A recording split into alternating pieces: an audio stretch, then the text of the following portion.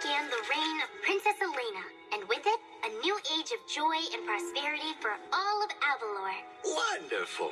I would call that a very happy ending. It is, but I don't think her story is over just yet. Of course it isn't. But what happens next is a tale for another book.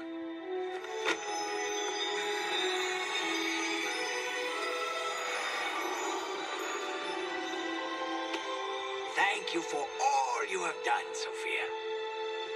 And this is for the journey ahead.